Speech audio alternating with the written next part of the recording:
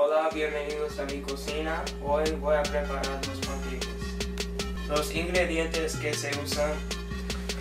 un- una taza de mezcla. Tres cuartos de una taza de leche. Una cucharada de aceite y un huevo. Cosas que se usan. Un bol grande para la masa. Un tenedor para mezclar la masa una parrilla y una espátula. La preparación. Vierta una taza de mezcla.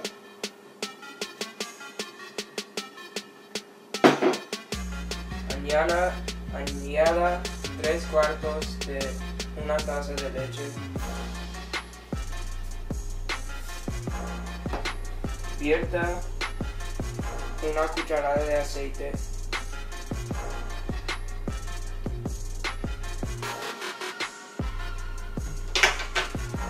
Rompa un huevo y añada el huevo.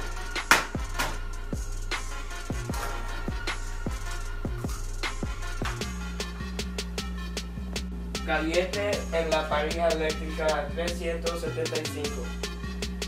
Vierta lentamente menos de un cuarto de taza de mezcla. Voltee los panqueques. Y disfruta.